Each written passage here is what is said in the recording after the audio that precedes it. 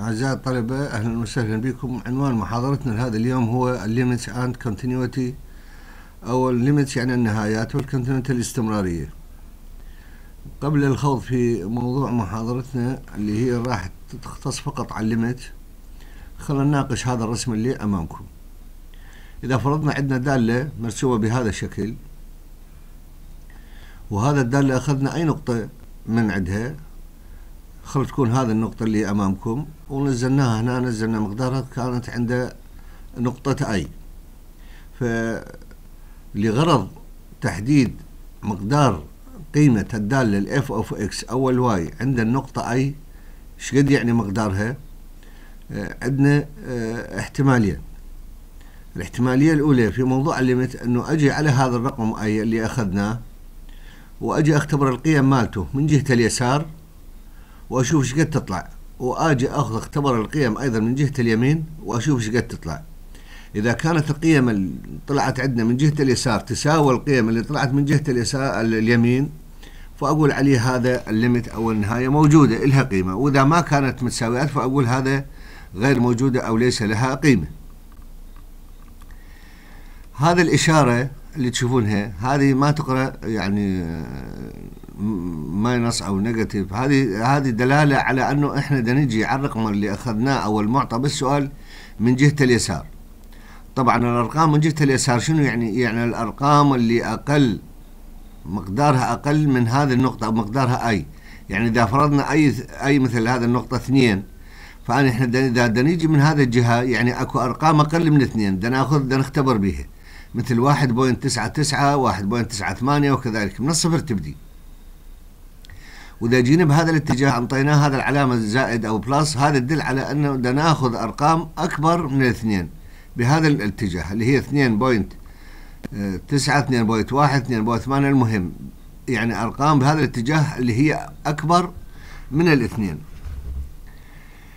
فإذا صار عندي في ال limit أول شيء عندك سهم. هذا السهم represent to the word approach approach يعني تؤول إلى أو تقترب من سهم. وهذا الإشارة تدل على أنه بدنا نختبر أو نأخذ الأرقام من جهة اليسار وهذا ال plus بدنا نأخذ الأرقام من من جهة اليمين. مثال عندنا هذا الدالة ال f of x عندما ال f of ال limit 2 x plus 1 تساوي 3 عندما ال x approach to 1 هذه شلون اريد نشوف على هذا النقطة اللي عندنا؟ هنا ال x منين تقترب ال x approach ته من ألو... إلى الواحد. فإذا أكو خل... آه، تخيل إنه مكان ال a هنا صار عندك واحد. فأكو أرقام أقل من الواحد وأكو أرقام أكثر من الواحد. فإذا جينا أخذنا الأرقام اللي أقل من الواحد اللي هي شنو هي؟ اللي هي مثل point تسعة تسعة تسعة إلى ما لا نهاية من الحدود. وخليناها وعوضناها بال limit أو بالدالة اللي عندي بحيث كل آه، يعني مكان كل x عوض هذا القيمة اللي هنا اللي هي point تسعة تسعة تسعة ثمانية. المهم الأرقام اللي أصغر من الواحد.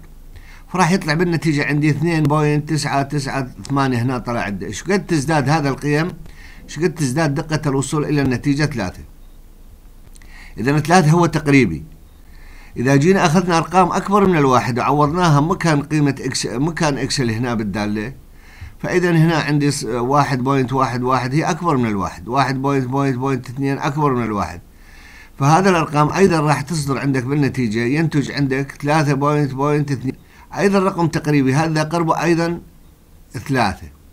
فبكل الحالتين إذا جينا من جهة اليسار اللي هي الأرقام أقل من الواحد اللي عندنا ومن جهة اليمين اللي أكبر الناتج طلع نفس الناتج. فأقول عليه إذا طلع نفس الناتج from both sides أقول عليها هذا الليمت موجودة ومقدارها هالقد. هذا المقدار شينا فرضناه؟ من جهة اليسار فرضناه L1 ومن جهة اليمين فرضناه L2 إذا تساوى L1 مع L2 فأقول عليها هذا الليمت مقداره L يعني الناتج واحد. مقداره L. وإذا L1 ما ما تساوى does not equal مع L2 أقول عليها هذا ال limit عندما ال x approach to a للدالة f of x does not exist. ناخذ مثال على الحالتين. في الحالة الأولى عندما منطيني هذا الدالة وهذا رسمها فالدالة الرسم ال x تربيع هذا هو الرسم ال x تربيع تكون موجبة. الإكس تكون الإكس تربيع موجبة عندما ال x وقت أصغر من اثنين و minus x plus 6 عندما ال x تكون أكبر من أكبر من اثنين. إذا عندما ال x أصغر من اثنين هذه تكون موجبة. وعندما ال x تكون أكبر من اثنين هذا ال minus x plus تكون مقدار سالب. فال limit اذا ال limit اللي عندي ما نشوف أصغر وأكبر اثنين اذا دي ال x وين؟ the approach approach to 2 فأجي أختبر هذا العدد. مرة آخذ أقل منه ومرة آخذ أكبر منه.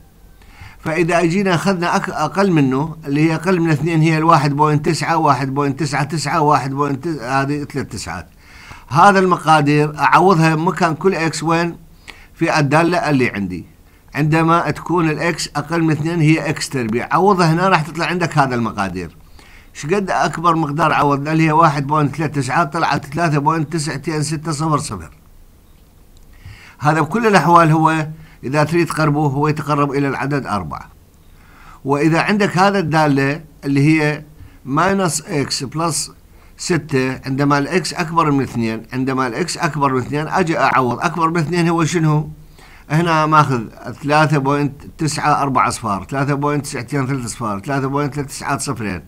المهم فالمقدار أكبر من الاثنين. ليش؟ لأن نجي من جهة اليمين. أيضا إيش قد طلع؟ أيضا راح يطلع عندك آه، تقريبا 3.39 أيضا مقارب لشنو؟ أيضا مقارب للأربعة. فبكلتا الحالتين كلتا الحالتين الليمت من جهة اليسار هو نفسه طلع من جهة اليمين.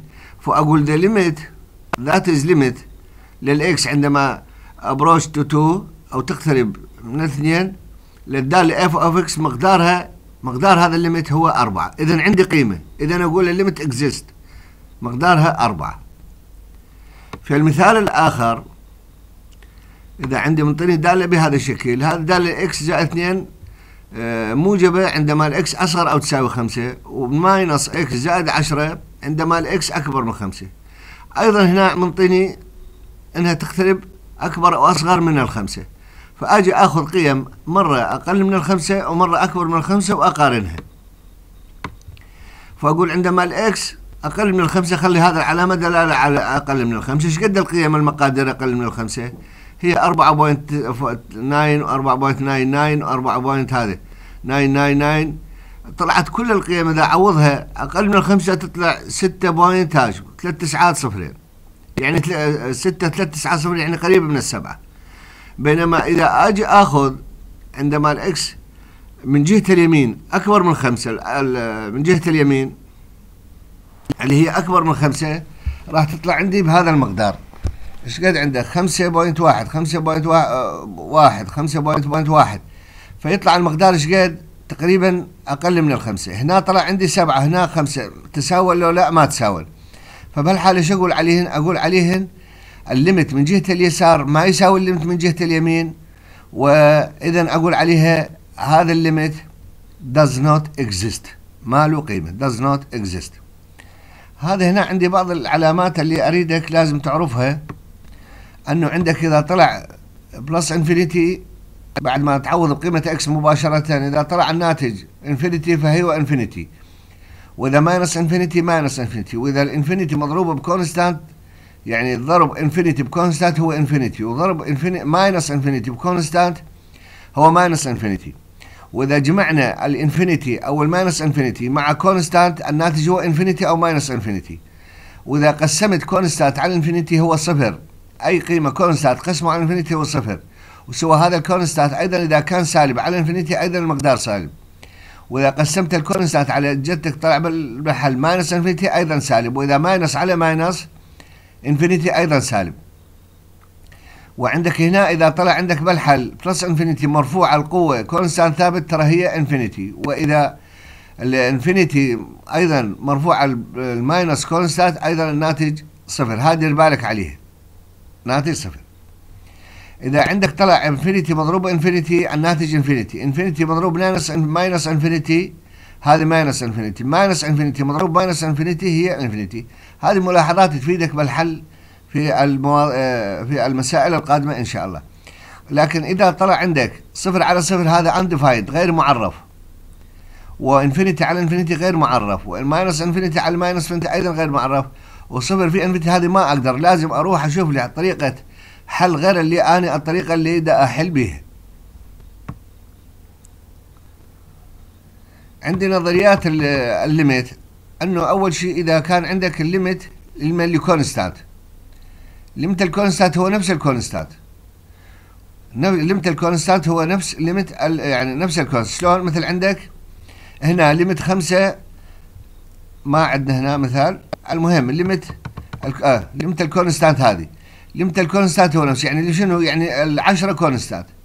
فإذا جتني limit عشرة بس سؤال والإكس تقتل من اثنين هي تساوي العشرة. يعني ليميت الكونستانت هو نفسه الكونستانت. وإذا ليميت إكس تساوي أي والأي والإكس تؤول إلى الأي فالليميت مالي هو نفسه الأي يعني شلون؟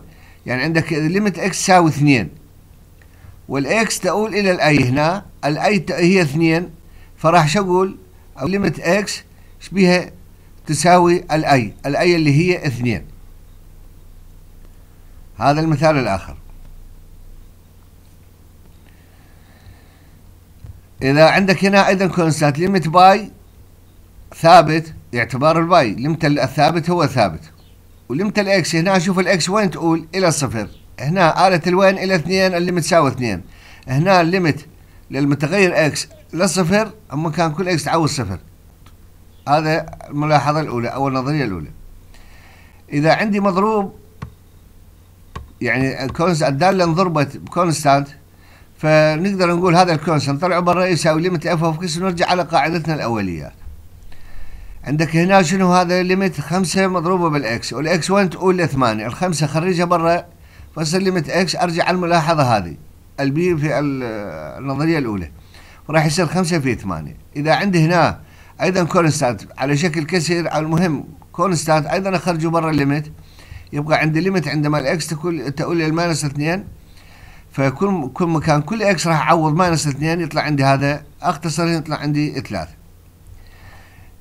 النظرية الأخرى أنه إذا عندك حاصل جمع أو ضرب limit اثنين آه آه يعني limit آه أو جمع أو طرح limit دالتين الدالة عندما ال x approach to a limit f of x plus أو minus g of x شو يساوي هذا؟ نقدر نجزئه أقول يساوي limit ال f of x زائد limit g of x فكل limit راح يطلع له رقم اللي هو L1 plus أو minus L2 وراح ناخذ مثال عليه. الأخرى أنه limit حاصل ضرب هنا, هنا. يساوي حاصل ضربة الأولى في حاصل ضربة الثانية يعني الأولى إلها مقدار L1 والثانية مقدارها L2 هنا حاصل قسمتهن أيضا بالبسط.